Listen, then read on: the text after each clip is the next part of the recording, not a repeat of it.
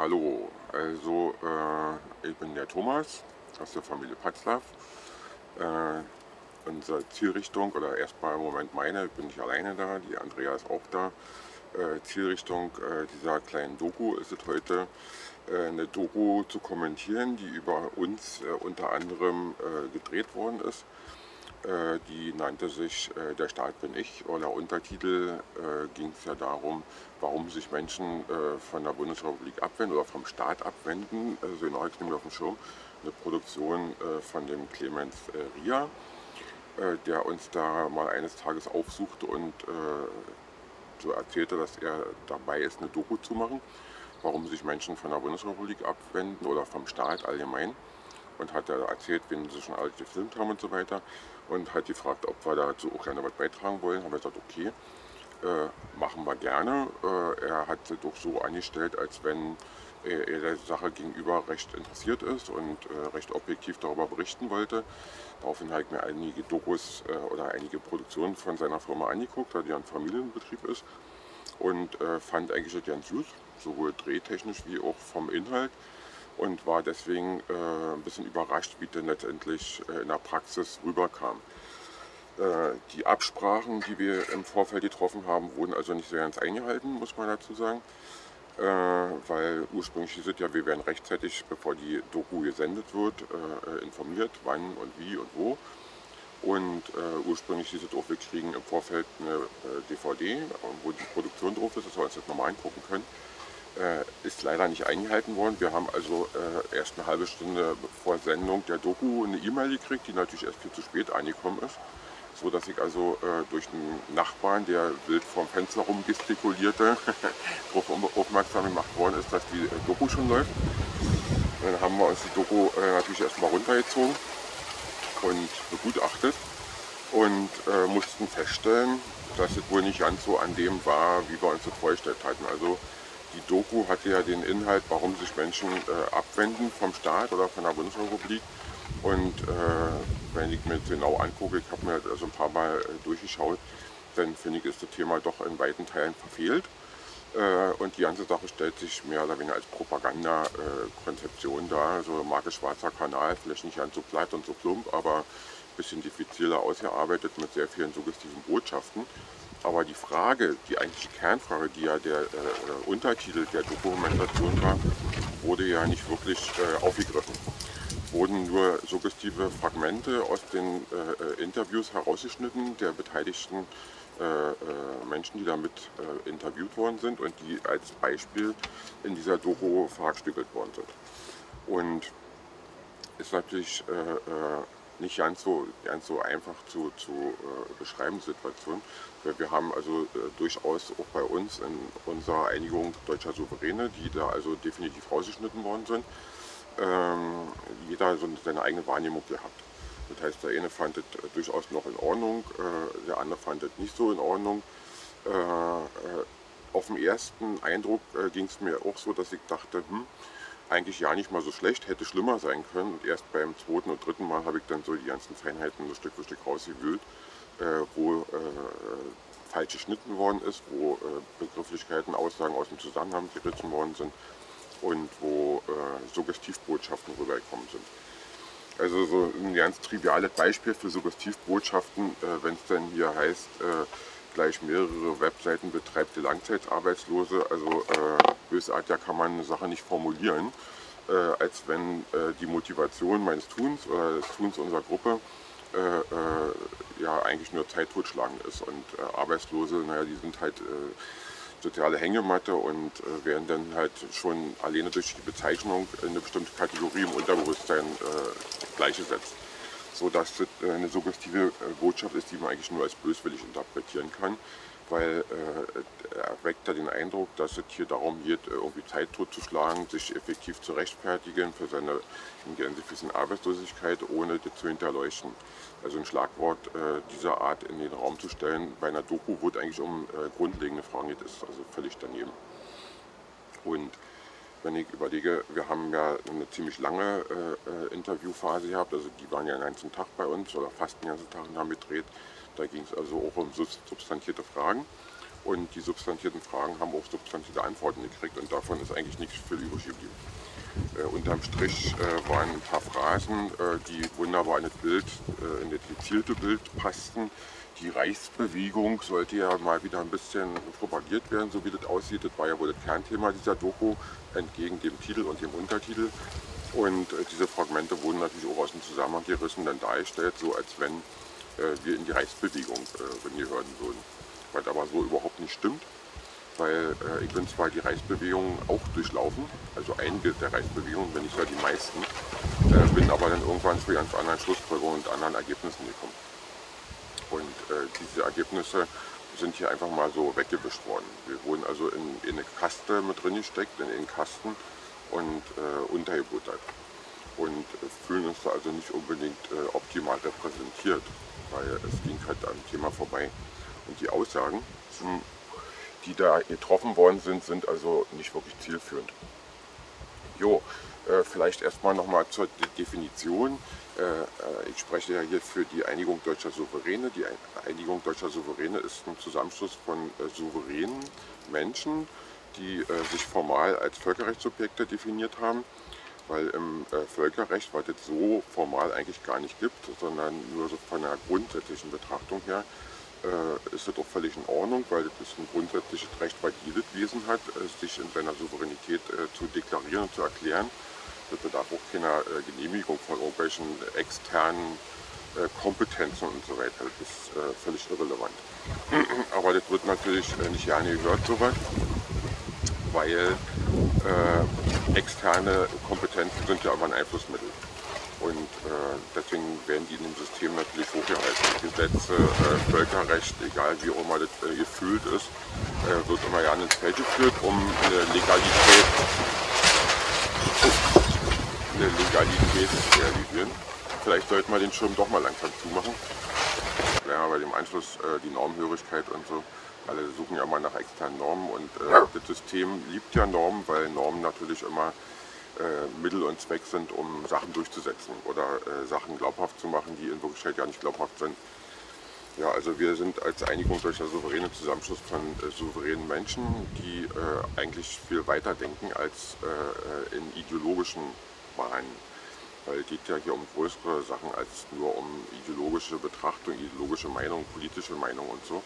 Es geht hier um das Leben in seiner Grundkonzeption als äh, freiheitlicher Konstrukt und äh, das fällt natürlich in so einer Doku, äh, wie die, die wir jetzt hier so ein bisschen äh, kommentieren und aufhellen wollen, fällt das natürlich völlig unten durch.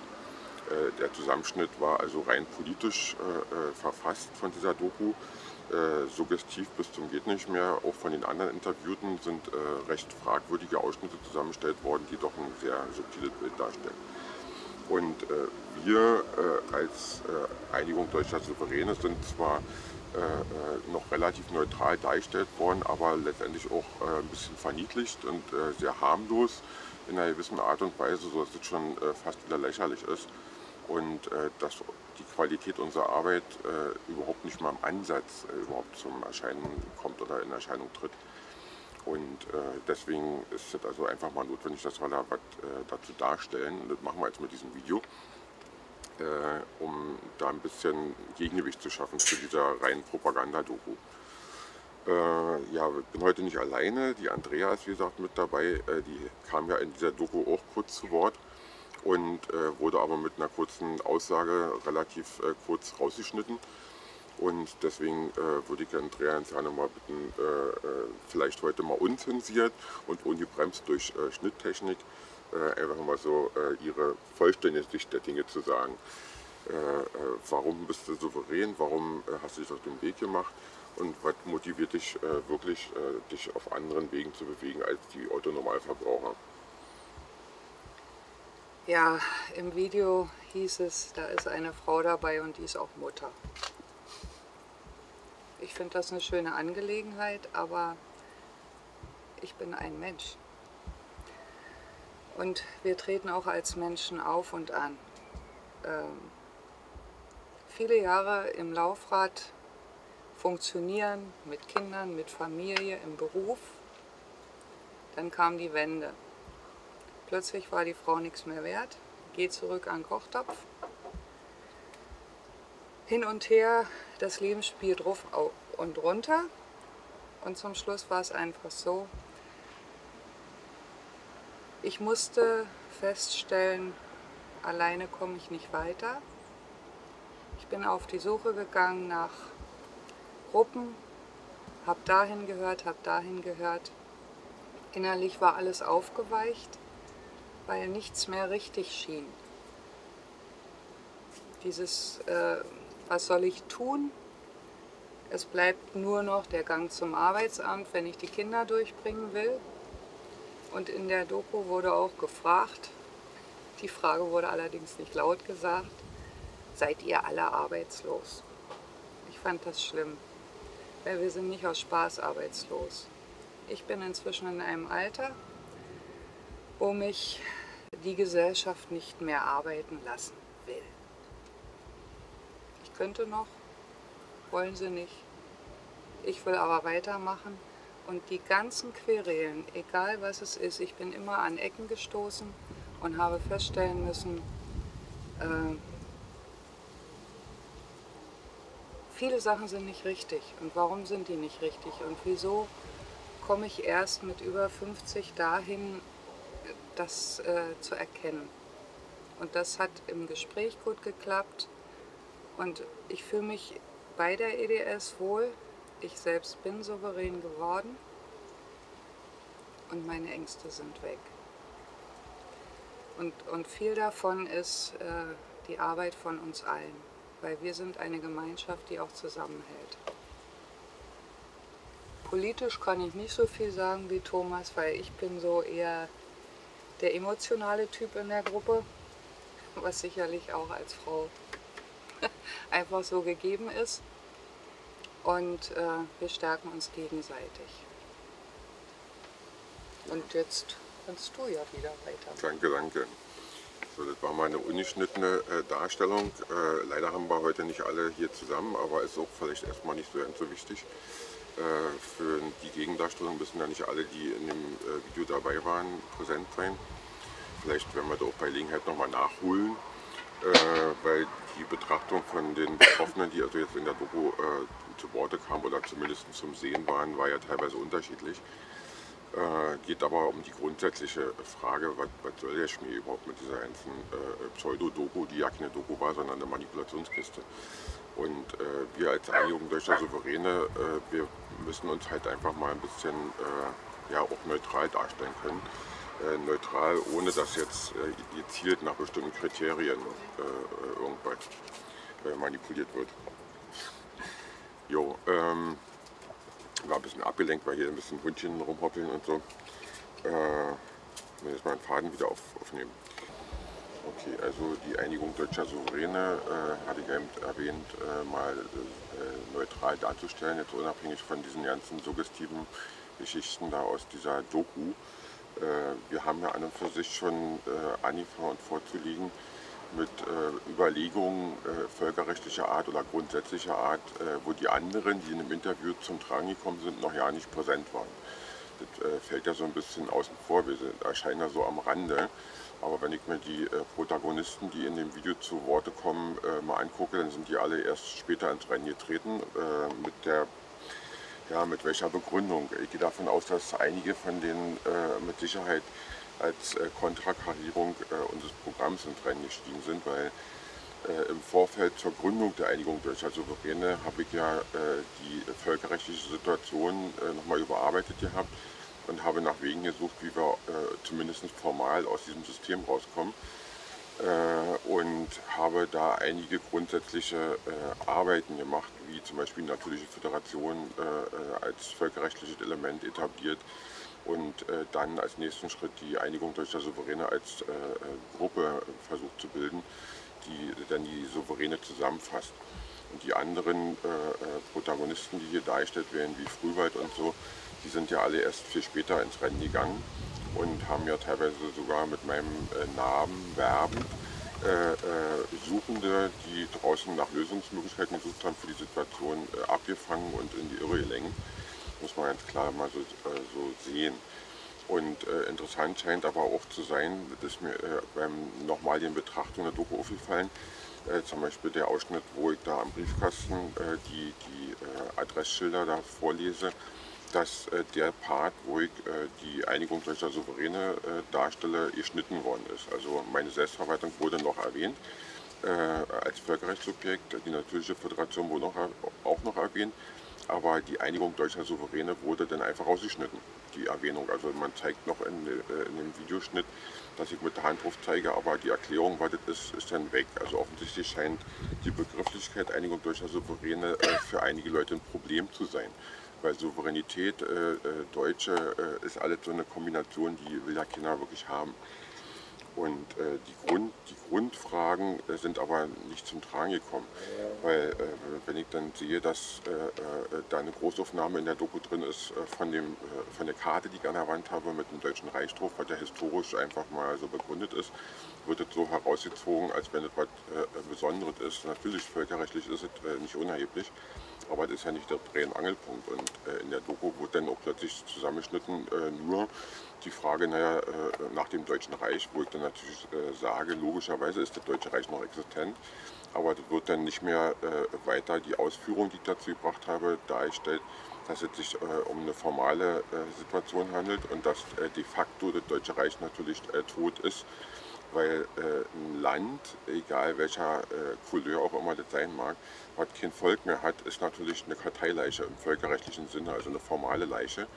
Äh, die nicht zu beleben ist so ohne weiteres, weil äh, was macht das Land aus? Das Land äh, wird ausgemacht von denen, die tragen, von den Leuten. Und da kommen wir dann aber wieder runter auf die Kernfrage, warum äh, sich Leute wie wir äh, äh, da rausnehmen aus dieser Situation. Und die kam in der Doku eben nicht zum Tragen, weil der Untertitel ist damit wirklich verfehlt.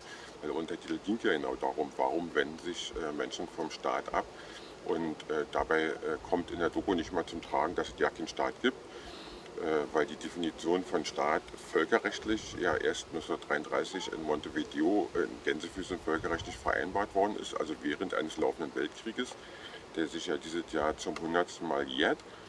Und äh, äh, es wird ja auch nicht erwähnt, dass die Bundesrepublik als Verwaltungskonstrukt der äh, drei Mächte hier subsidiär äh, immer nur für die drei Mächte in Erscheinung getreten ist und äh, wir damit sozusagen im Kriegszustand uns befindlich äh, immer noch wieder erkannt haben und im Gegensatz zu den meisten anderen eben konsequent gesagt haben, okay, so kann es ja nicht gehen, das ist ja irgendwie nicht ganz in Ordnung weil äh, die Verwaltung, die hier präsent ist, egal äh, wie sie sich auch mal schimpft, in den einzelnen sogenannten Behörden, äh, äh Ministeri Ministerialeinrichtungen oder äh, öffentliche Körperschaften, wie auch immer sie darstellt, sind alle nur Verwaltungseinheiten, die hier subsidiär für die Feinde, für unsere Feinde äh, aktiv sind. Das hört sich für manche eben sicherlich hart an, aber sämtliche Überprüfungen führen immer genau dahin. Man braucht bloß das Grundgesetz äh, zur Hand nehmen und dann findet man, äh, dass das Grundgesetz ein, Teil des Besatzungsstatutes ist und dass da kein Staat im eigentlichen Sinne, äh, so wie die meisten fühlen, definiert ist, sondern halt nur ein Verwaltungskonstrukt, äh, der hier äh, die Besatzungssituation einfach in formale Grenzen bringt sodass wir hier äh, im Rahmen einer Täuschung äh, gut funktionierend und äh, wenig rebellierend ausgebeutet werden können. Und das sind grundsätzlich Fragen, die eigentlich in so einer Doku hätten gestellt werden müssen und die äh, auch mir gestellt worden sind während der Aufnahmen, äh, die aber äh, nicht mal im Ansatz in Erwähnung gebracht worden sind, weil viel zu brisant wahrscheinlich.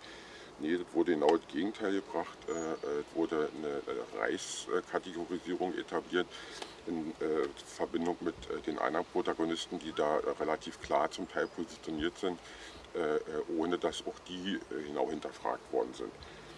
Jo, also äh, äh, das Reich als äh, Völkerrechtssubjekt ist natürlich nicht vom Tisch, ist ganz klar, aber ganz realistisch muss man auch sehen, dass es äh, eine Leiche bleibt, weil äh, ohne Volk ist da halt nicht äh, raus zu reparieren. Also haben wir gesagt, wenn wir ein Völkerrechtssubjekt jemals wieder haben wollen oder haben können, dann muss es eben sein, was wieder neu wächst, was neu entsteht mit dem eigenen Volk, was aus einer Souveränität von unten nach oben äh, entsteht. Und das ist die Zielrichtung der Einigung deutscher Souveräne. Und es äh, geht hier nicht um irgendwelche politischen Betrachtungen, sondern um grundsätzliche Betrachtungen. Aber ich will hier noch ein paar Sachen, die ich mir äh, rausgeschrieben habe, zu der Doku äh, in Erwähnung bringen, weil diese Doku ja doch äh, recht manipulativ ist. diese, diese Verbindung, die zu, zu den Reichsbürgern, zu den sogenannten dargestellt wird, äh, äh, ist natürlich eine plakative Geschichte. Da wird äh, zum Beispiel der Staatsschutz dann in der Doku in Erwähnung gebracht äh, mit seinen Empfehlungen, wie mit Reichsbürgern umzugehen ist. Äh, wobei der normale Betrachter erstmal dabei ja nicht äh, Bösartiges vermutet, wahrscheinlich in seiner oberflächlichen Herangehensweise bei der Betrachtung so einer Doku. Aber letztendlich wird da, da genau eine Manipulation, die tiefgreifend ist, etabliert in dem äh, ein Zusammenhang dargestellt wird äh, zwischen einer bestimmten politischen Betrachtung äh, äh und einer bestimmten Verfahrensweise. Da werden zum Beispiel Gerichtsvollzieher äh, darauf eingeeicht, äh, dem normalen Prozedere eben nicht zu folgen, wenn die zum Beispiel irgendjemanden fänden wollen und die setzen sich mit ihm auseinander und der klärt diese Gerichtsvollzieher über die rechtliche Situation auf, die eigentlich jeder überprüfen kann, der lesen kann, dann werden die darauf geeicht, das zu ignorieren wo ist da der demokratische Ansatz? Ich meine, wenn man die ganze Berufsgruppe äh, versucht zu impfen, zu, zu, äh, zu imprägnieren, auf bestimmte rechtliche Fragen nicht zu antworten, dann ist das undemokratisch. Das ist äh, Manipulation in Reinkultur. Äh, wenn äh, eine bestimmte Gruppe, die ja nicht gerade die kleinste ist, weil die sogenannte Reichsbewegung ist mittlerweile relativ groß, äh, durchaus ernsthafte Kriterien äh, aufwirft und ernsthafte Kritikpunkte aufwirft und das auch fundiert, dann wird die hier einfach vom Tisch gewischt, ideologisch. Und äh, da werden, wie gesagt, in dem Fall in der Doku war das ja hervorragend zu sehen, die Gerichtsvollzieher als äh, Opfer dieser äh, radikalen Kreise dargestellt, ohne zu belegen, dass die überhaupt radikal sind. Und ohne zu belegen, dass eben diese Berufsgruppe zum Beispiel äh, selber ja keine hoheitliche Legitimation hat, weil sie haben nur den Glauben, ist eine, eine Sekte im Prinzip genauso wie sämtliche äh, Körperschaften des öffentlichen Rechtes alle äh, genau genommen nur Sekten sind. Weil sie glauben nämlich nur bestimmte Sachen. Sie glauben, sie sind äh, in Amtspositionen und wenn man sie dann nach dem Amtsausweis fragt, dann kommen sie klein laut mit dem Dienstausweis raus und hinterfragen nicht mal ihre eigene Problematik, die ihnen eigentlich klar werden sollte. Äh, weil sie müssten nämlich eigentlich selber fragen, ja, wie kommt denn, dass ich als Amtsperson nur einen Dienstausweis habe? Es gibt also äh, ganz knallharte rechtliche Grundlagen äh, für diese Situation, die hier einfach mal verniedlicht werden, überspielt werden. Und äh, damit wird weiter nichts gemacht, als dieser Trickbetrug, der hier seit Jahrzehnten läuft, aufrechterhalten. Und das ist natürlich für die Leute, die so wie wir uns damit schon befasst haben, äh, äh, nicht tragbar. Und das sind die Hintergründe, die wirklichen Fundamente, warum sich äh, Menschen, die das erkennen, von dem System abwenden. Weil das System ist eigentlich der Gewaltmonopolträger. Das System stellt seine, seine Handlanger, in dem Fall die Richtvollzieher, die nichts weiter tun, als Leute platt zu machen mit Gewalt zur Not gegen rechtliche Grundlagen mittlerweile sogar privatrechtlich nur noch fundiert, weil äh, die gesetzlichen Grundlagen sich massiv verändert haben stellt die als Opfer dar und äh, die eigentlichen Opfer, nämlich die Plünderten, die äh, rechtswidrig sanktionierten, als Täter, dann ist das natürlich schon eine Auf den Kopfstellung der, der Wahrheiten und der wirklichen Situation. Weil in Wirklichkeit ist es hier so, dass die äh, Organe der öffentlichen Hand die Gewalt ausüben, äh, ohne Rücksicht auf äh, rechtliche Grundlagen, ohne äh, Stellung zu beziehen, ohne Verantwortung zu übernehmen. Die sind so feige, dass sie teilweise nicht mehr ihren Namen nennen, während sie ihre Straftaten vollziehen. Und äh, diese Punkte, die eigentlich in so eine Doku hören würden, äh, werden hier auf eine sehr merkwürdige Art und Weise dargestellt, ausschnittsweise, fragmentweise und so weiter. Äh, da wird dann hier, äh, in dem Fall hier der, der Herr Schwarzer zum Beispiel, oder Herr Schwarz hier, Daniel, äh, als äh, Terrorist dargestellt, wo Sprengstoff beschlagnahmt worden ist, ohne einen Beweis, Beweis dafür zu führen, dass er wirklich Sprengstoff hatte. Da wird äh, in einem vermeintlich laufenden Verfahren äh, ein Staatsanwalt äh, vor die Kamera zitiert und ein äh, Richter. Die dürfen ja keine Aussagen in äh, äh, Verfahren machen, in laufenden Verfahren. das ist alles rechtsstaatswidrig. Das heißt, die Doku belegt, das ist der Vorteil an dieser Doku, muss man auch mal so sehen. Ich sehe das also mit einem lachenden und weinenden Auge. Die Doku belegt natürlich auch die Rechtswidrigkeit des gesamten Systems. Im Grunde genommen hat sie ja durchaus einiges aufgezeigt, aber man muss es erstmal erkennen, während man die Doku ansieht. Zum Beispiel dieser äh, Gerichtsvollzieher, der da äh, äh, als äh, vermeintlich Opfer da referiert, hier dieser Herr äh, Vorrat, äh, der die dramatisiert die Situation mit den bösen Reichsdeutschen, vor dem man ja Angst haben muss. Der reflektiert da nicht mal selber, dass er bloß eine Privatperson ist, der sich mit Amtsanmaßung und mit falscher und rechtswidriger Amtsunterstützung diverse Freiheiten rausnimmt und damit jede Art von Recht bricht äh, der auf den demokratischen Grundlagen äh, mit allen Füßen nur rumtritt hier rein. Und äh, sowas wird alles nicht thematisiert. Und äh, äh, das ist einfach nicht tragbar, die ganze Sache. Also Thema, Thema voll verfehlt. Ich will noch ein paar äh, andere Aspekte sagen hier, dann, dann kommen so, so, so Ansagen hier, Gleichsetzung, Neonazi-Szene, so Schlagworte, die ja immer schön verrissen sind, äh, die werden dann mit der DPHW in Verbindung gebracht und die wieder mit äh, äh, anderen Protagonisten, die hier äh, gefilmt werden, wie diese Familie, diese Familienunternehmen, hat sich da einfach wehrt gegen diese ganzen Willkürmaßnahmen. Und äh, auch das Amt für Menschenrechte Sumeli äh, wird äh, in einer recht merkwürdigen Art und Weise dargestellt, jetzt unabhängig davon, wie er wirklich positioniert ist. Ich will da also jetzt kein äh, Ast brechen für oder gegen den Gutsten, weil ich habe ihn schließlich mal über die rechtliche Lage aufgeklärt in diesem Land. als ich ihn das erste Mal kennengelernt habe vor vielen Jahren, hatte er überhaupt keine Ahnung gehabt, was hier wirklich läuft.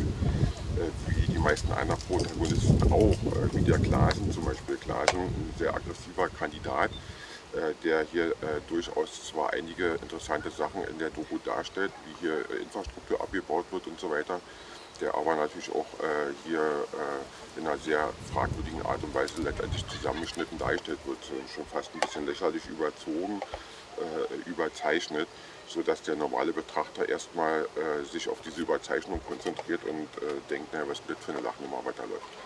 Also die ganze Sache ist von der, von der Machart sehr platt, wenn man sich mal die Zeit nimmt, äh, das zu hinterfragen und äh, wirklich mal ein bisschen kritisch die Schnitte zusammensieht. Also letztendlich, äh, es gibt knallharte Grundlagen, warum äh, sich Menschen von diesem Pseudostaat abwenden, weil der Staat ist äh, die Personifizierung des Bösen, will ich mal so sagen, weil äh, der Staat hat keinerlei hoheitliche Legitimation. Dieser BRD-Staat, der ist so geisteskrank, dass er nicht mal weiß, wie er heißt, weil er firmiert ja immer noch unter Bundesrepublik Deutschland. Muss man ja mal so sehen. Und äh, wenn man Autonormalverbraucher auf der Straße fragt, Autonormalverbraucher denkt immer noch, er lebt in der Bundesrepublik Deutschland oder halt in Deutschland. Äh, die neue Machart, die seit 2005 offiziell äh, propagiert wird über die Medien. Weil die Bundesrepublik seit 2005 äh, zusehends aus den Medien verschwunden und durch, die, äh, durch den Begriff Deutschland ausgetauscht worden ist.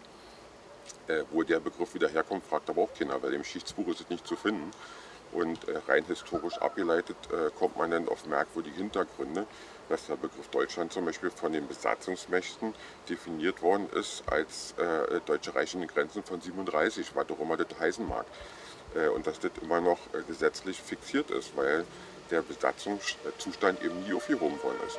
Wir haben keinen Friedensvertrag, äh, selbst unser Rollstuhlterrorist Schäuble äh, hemmungslos zugibt, dass das Völkerrecht obsolet ist und dass wir seit äh, dem Mai 45 äh, zu dem Zeitpunkt äh, äh, vollständig souverän waren, wird ignoriert.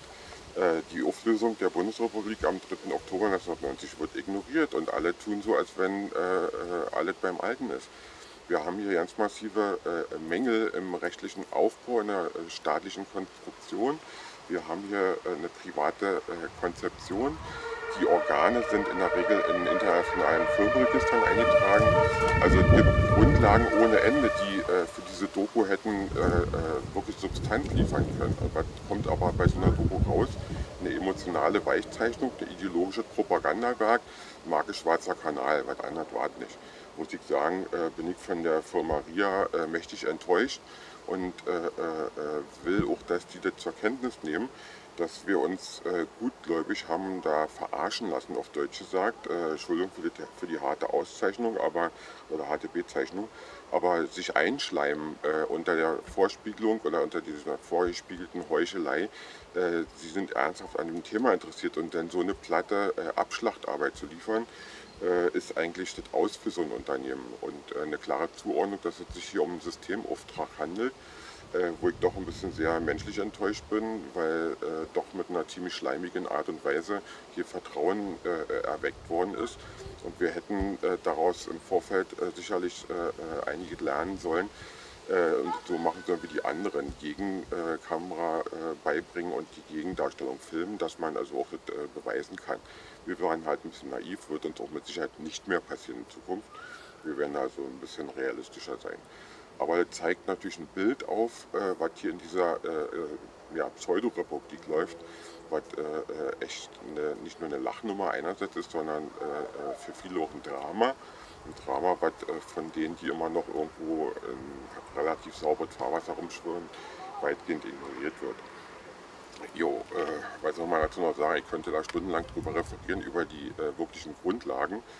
Äh, aber Quintessenz ist äh, eine Dokumentation, die äh, so wie diese Dokumentation eben keine Dokumentation ist, sondern eine Antidokumentation, die nur in einigen Aspekten ein paar Sachen anreißt, die aber dem normalen Betrachter erstmal durch die Lappen gehen, weil er zu unkritisch ist ist einfach mal eine Unmöglichkeit und führt letztendlich Beweis, warum Leute aussteigen aus dem System, führt Beweis, dass das System durch und durch krank, verlogen, korrupt, kriminell ist, weil eine Medienlandschaft, die so einen Dreck produziert, äh, äh ganz klar auf Deutsch gesagt, ist genauso äh, repräsentativ für das System und das System ist menschenverachtend und äh, einfach geisteskrank. Eine Glaubensgemeinschaft, eine Sekte, eine große, die äh, ihr Hirn offensichtlich ausschalten, aus Angst äh, zum Teil, zum Teil aus äh, äh, äh ja, vordergründigen Schein, Scheinprofiten, äh, um sich ja, den, den, Gegebenheiten nicht stellen zu müssen.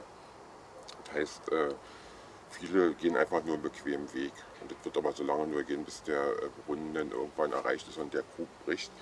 Und äh, davor haben sie halt alle Angst. Das System äh, konfrontiert es zwar schon langsam, dass das hochkocht und versucht das durch so eine Dokumentation äh, abzuwiegeln, in bestimmte, äh, in bestimmte Färbung zu bringen, lächerlich zu machen, äh, zu dramatisieren, indem das hier eine terroristische Gewaltsituation ist. Dabei die Gewalt hier nur vom System aus. Das System hat keinerlei wirklich äh, funktionsfähige Rechtsgrundlagen, sondern agiert nur noch mit Gewalt. Hier wird jeder, der nicht bei drei Bäume ist, äh, beraubt nach Strich und Faden, nach jeder Gelegenheit. Äh, äh, Körperverletzung bis zum Tod hin ist hier völlig normal, System geduldet. Und das sind die knallharten Grundlagen, die in so eine Dokumentation gehören würden. Und ja, viel mehr kann man dazu nicht mehr sagen, sonst rege ich mich so oft, dass das also nicht mehr zu, äh, zu fassen ist. Also äh, ich denke mal, damit ist dieser ja, dieser Pseudodokumentation ein ordentliches Gegengewicht äh, äh, entgegengestellt und äh, dabei wollen wir es auch bewenden lassen. Ich kann nur noch äh, darauf appellieren oder da, daran appellieren, an äh, das, was viele schon ja nicht mehr kennen. Das ist äh, das, was Andreas Klaus immer so schön sagt, obwohl er nicht mehr mit mir befreundet ist. Der GMV, der gesunde Menschenverstand. Wer seinen gesunden Menschenverstand bemühen würde, der würde ja schnell wach werden und müsste dabei zwar ein paar Unbequemlichkeiten in Kauf nehmen, aber äh, wenn das genug machen würden, dann könnten wir schon längst in einer vernünftigen Situation sein. Und äh, ich kann nur dazu aufrufen, äh, hört auf zu glauben, sondern fangt an zu wissen. Und äh, äh, Wissen ist einfach nicht zu toppen, das ist die größte Gefahr für das System und da äh, muss selbst die Gewalt irgendwann mal einknicken. Und diese Bequemlichkeit, die hier läuft, ist also nicht mehr ertragbar auf Dauer. Jo, ich denke mal, damit haben wir das sauber zum Ende gebracht für diesmal. wird sicherlich noch andere Produktionen geben, aber äh, ich hoffe, die Botschaft ist äh, angekommen und kommt auch weiterhin an. Äh, die Systemmedien können ruhig aufhören, uns zu verarschen. Wir brauchen das wir haben schon längst durchschaut und die meisten schauen sich den Dreck sowieso nicht mehr an, der aus den Ecken kommt. Und tschüss. Vielen Dank fürs Zuhören.